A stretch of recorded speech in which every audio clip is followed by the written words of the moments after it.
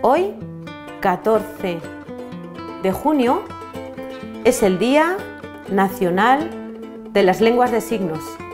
En nuestro programa electoral llevamos el reconocimiento constitucional de esta lengua. Nuestro compromiso es seguir luchando por su reconocimiento social e institucional.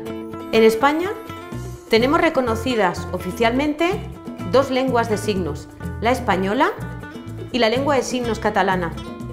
De hecho, la Ley 27-2007, que reconoce la lengua de signos, pero como tantas otras leyes, se ha quedado en papel mojado.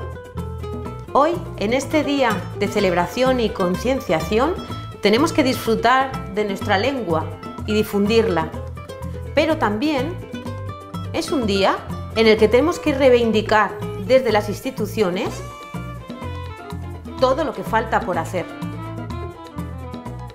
Y esto sigue siendo una cuenta pendiente.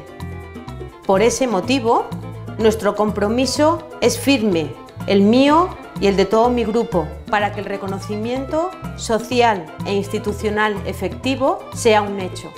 La inclusión es responsabilidad de todas y es algo recíproco. Y eso es la lengua de signos, la unidad y la reciprocidad hecha idioma. Un abrazo a todas las personas sordas y sordociegas signantes y también un agradecimiento al trabajo realizado por la Confederación Nacional de Sordos de España y a todas las personas sordas en su lucha día a día.